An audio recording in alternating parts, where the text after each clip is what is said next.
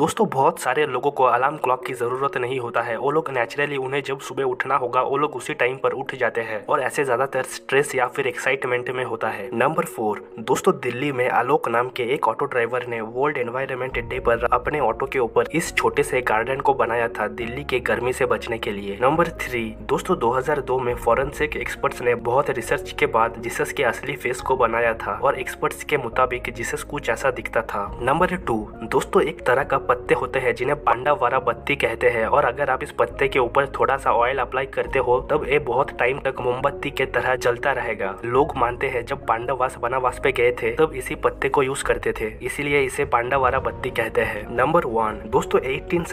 में Thomas Edison ने एक इलेक्ट्रिक पेन इन्वेंट किया था और बाद में उसे एक टैटू मशीन के तौर पर अडोप्ट कर लिया गया एटीन